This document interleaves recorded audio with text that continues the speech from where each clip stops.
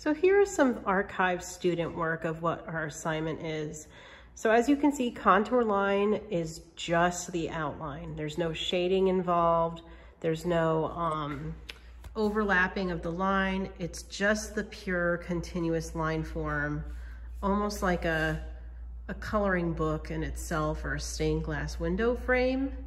We are just worried about capturing the accuracy of the shape, practicing our hand-eye coordination, and also just, you know, working it out with pencils and charcoal and getting used to the materials. So if there's text on your object, like a brand name, don't worry about it. We're not gonna be labeling any of these drawings with what materials being used. We're just, we're just, we're just worried about capturing the actual shape on here.